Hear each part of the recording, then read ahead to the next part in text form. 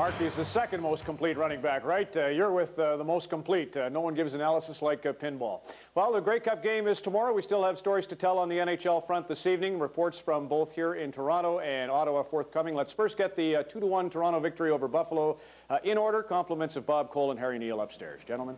You know what, Ron and Harry, you can't believe what a difference a day makes, as they say. Toronto defeated 4-1 last night in Buffalo by the Sabres a complete turnaround tonight.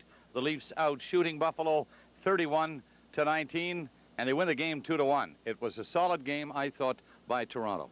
Well, they weren't outworked like they were last night. They were just as physical as Buffalo was, and their goaltending from Curtis Joseph equaled uh, that of Dominik Hasek. And when you can do those things, you have a chance to win. And when you don't, the score ends up like it did last night. It was a good performance by Toronto.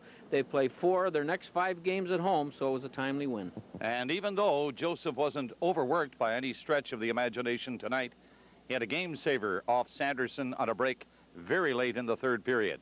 It was a dandy save. So Toronto wins the game 2 to 1, and now they're in first place in the Northeast Division in the National Hockey League. Ron? Just three points ahead of the Ottawa Senators, though, with a big victory tonight. And for more on that, Dick Irvin and Pat Flatley. Well, Ron, just a little more than 24 hours ago, the Ottawa Senators were in the throes of a six-game winless streak. Voila, 4-1 last night in Washington, 4-1 tonight here. Two straight wins. Pat, what impressed you about the Senators? I think Alexei Yashin, his captain, led the team tonight. He had seven shots on net and two goals, and the whole team followed his lead.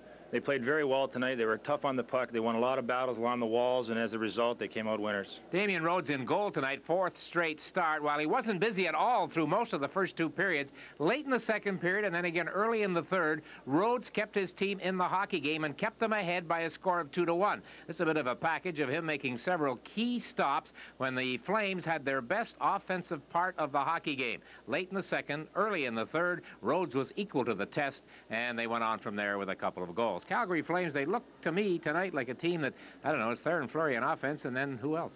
Yeah, but they're a very hard-working team, and that's something the players can't control. And if they continue to work hard and play well defensively with a young team, I think they'll have a good chance to, to do well the rest of the season. Anyway, tonight it's Ottawa in the All-Canadian matchup here. The last time these two cities were in the Grey Cup was 1968. Well, tonight they met here. It was 4-1 Senators. Ron?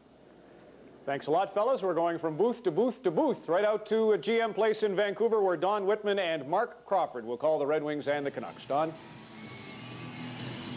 Ron, the uh, Detroit Red Wings come into this game after a very impressive win in Edmonton, and conversely, Marc, the Vancouver Canucks coming off a very big 5-0 win in Colorado. Absolutely. Mike Keenan's 500th win. Obviously, Scotty Bowman leading winning coach in uh, hockey history. It's going to be a great matchup between two of the best coaches in the game.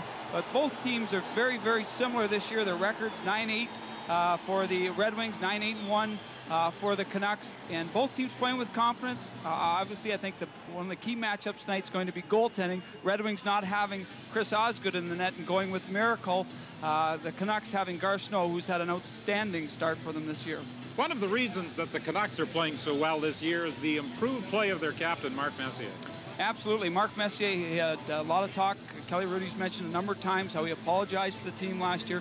Speaking with Mike Keenan uh, today, he just feels that Mark really went back to work this summer, got himself in the best condition of his life. He's put on about four or five pounds, and that's been all muscle, and it's really paid dividends for him early in the season. He's off to a great start, and he is leading this team. The winningest coach of all time, Scotty Bowman, the mentor and one of his pupils who reached his 500th win the other night, Mike Keenan. What about their coaching styles?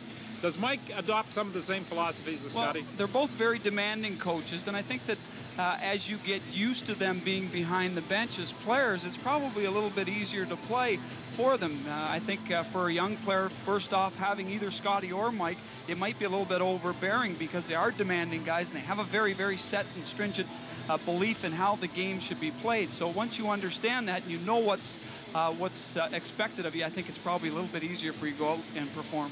Ron, we're looking for a good one tonight here at GM Place between the Red Wings and the Canucks.